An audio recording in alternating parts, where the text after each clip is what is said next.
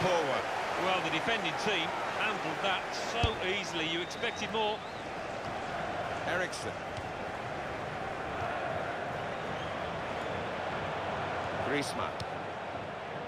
It's looking good, this move. Benzema! Beat the goalkeeper, hit the top of the bar. Sebastian Giovinco.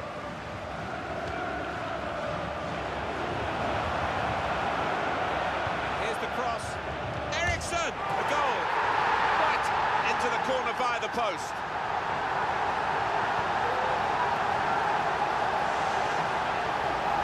Well, we see it again, how close it was to maybe hitting the post and staying out. But luck was with him. In it goes, it counts. Now, I think the goalkeeper thought he got his angles covered there.